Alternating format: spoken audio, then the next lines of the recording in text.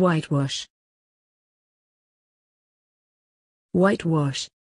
Cheapest type of coat and is used to whiten walls, fences, or other structures.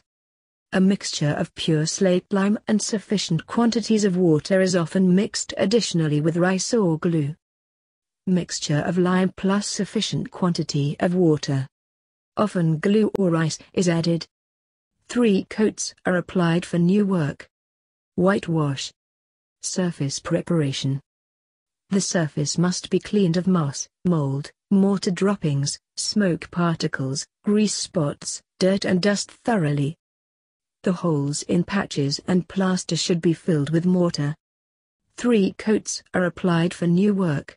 Each coat should be allowed to dry before a next coat is applied. Preparation of whitewash.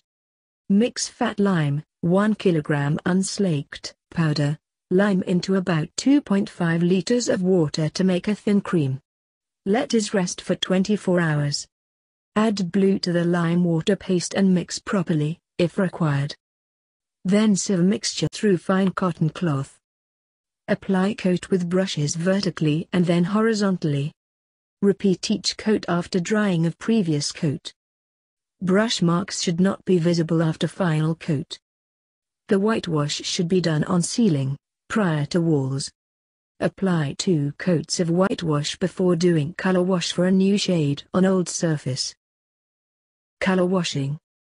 Prepare by adding required shade of color pigments in suitable quantities. Applied in same manner as whitewash. Constantly stir the mixture during use.